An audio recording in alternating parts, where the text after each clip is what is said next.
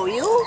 This is Bucky, and Bucky's ID number at the Baldwin Park Shelter is A4990135, and he's a little male short-haired Chihuahua, black and tan, uh, came into the shelter as a stray on September 6th out of Covina, and he weighs about 9 pounds. He's going to fall asleep right there. He's so content. now this is one relaxed dog. I like this. He's very, very young. He's uh, a year or maybe less. He's really, really a young boy maybe only eight or nine months. Uh, very sweet disposition. And even at that age, though, he does okay on a leash, and he seems to get along with other dogs. He, oh, and he's going to be a kissy face. He's just a real doll. What can you tell us, Kim? Kim, what, how, you, how was he getting out of the kennel?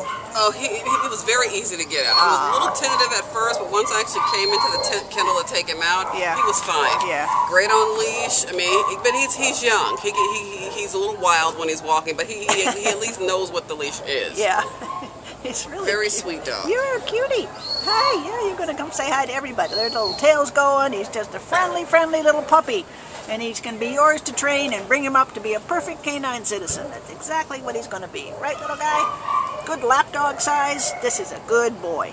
Please come and meet young Bucky at the Baldwin Park Shelter and take him home.